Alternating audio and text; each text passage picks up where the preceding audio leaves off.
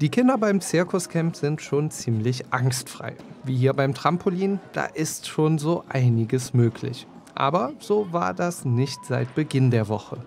Vor allem finde ich, dass die Kinder halt eben aus ihren Ängsten auch rauskommen. Das ist für die, glaube ich, am allerwichtigsten. Das ist halt eben, äh, wo die immer noch ein bisschen Schiss, sagen wir auch teilweise haben, dass sie auch kneifen. Aber ich glaube, mit jedem Tag sind die hier motiviert und schaffen das eigentlich, ja.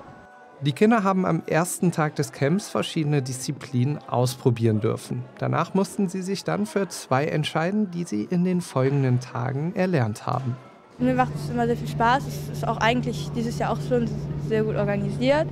Dieses Jahr sind wir ein bisschen weniger Kinder, aber es ist trotzdem, also ist auch sehr schön weil man dann auch mehr kennt. Wir machen halt Übungen am Vertikaltuch. Man nimmt halt die zwei Tücher, man klettert als erstes hoch, dann muss man die Tücher trennen und dann ähm, wickelt man die Füße darum und dann geht man in den Spagat.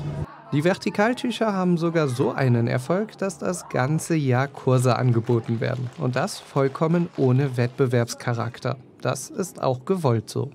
Das ist uns äh, prinzipiell wichtig hier im Haus, also dass wir ähm, diesen Wettkampfgedanken halt mal rausnehmen und man einfach die Sache macht, weil man Freude daran hat. Das geht von den Musikkursen, die wir anbieten, bis halt zu einem Tanzkurs oder auch äh, einem Theaterworkshop, wo es halt nicht auf ein Theaterstück drauf zuläuft, sondern halt einfach geschaut wird, okay, äh, wie improvisiere ich, wie gehe ich mit dieser Situation um. Ähm, wir möchten halt einfach schaffen, dass dieser ja, ja, dass dieser Ehrgeiz und dieser Konkurrenzgedanke mal abgeschaltet wird bei den Kindern, sondern einfach man macht die Sache, weil man Spaß dran hat und dann macht man die Sachen auch meistens richtig gut. Angeboten werden insgesamt acht Disziplinen. So finden sich auch für die Disziplin Diabolo Fürsprecher. Da hat man halt so ein Teil und ähm, das kann man dann andrehen, indem man den Stock so bewegt. Dann kann das halt schneller werden, man kann es hochwerfen. Es gibt ganz viele verschiedene Tricks und ja, das macht mir relativ viel Spaß. Aktuell läuft alles rund. Nur der Start war etwas holprig. Doch wie so oft in der Jugendarbeit finden sich immer Lösungen. So, ich muss zugeben, der Start war ein bisschen holprig, das war allerdings wetterbedingt.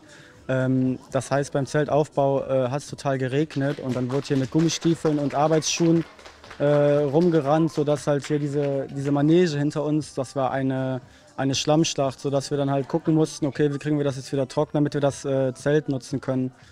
Dann haben ich und meine Kollegen dann halt ähm, geschaut, okay, wir brauchen eine Heizung hier drin, damit der Boden trocknen kann.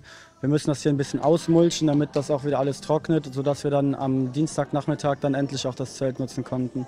Das Programm der Aufführung erstellen die Kinder selber.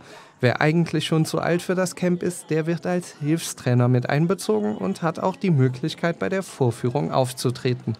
Das Konzept, Jugendlichen die Möglichkeit zu geben, Aktivitäten für Kinder zu planen, wird auch sonst oft im Jugendtreff Insight angewandt. Und wer weiß, vielleicht werden auch weitere Aktivitäten bald ganzjährlich angeboten.